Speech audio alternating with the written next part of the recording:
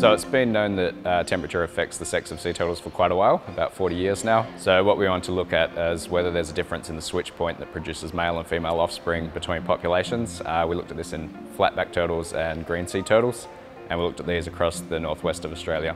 So our research found that there's quite a difference in the switch point between male producing and female producing temperatures in sea turtle populations, particularly in flatback turtles. And this means that at different temperatures you get different numbers of males and females between these different populations. So this research was done in collaboration with the West Australian Marine Science Institution as part of the Kimberley Node projects. Uh, we also worked alongside the Department of Biodiversity Conservation and Attractions and worked with a whole range of uh, Indigenous ranger groups up in the northwest, um, particularly uh, Wunambal Gaambera, um, Miriuwung Gajerrong and the Nyul Nyul ranges.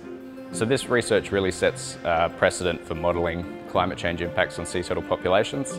Uh, so now that we have these population-specific parameters of the sex-determining mechanisms, we can actually look at how climate change is going to affect each population um, in a case-by-case -case basis. And this is something that's really needed in the northwest west of Australia, especially with the impacts of climate change.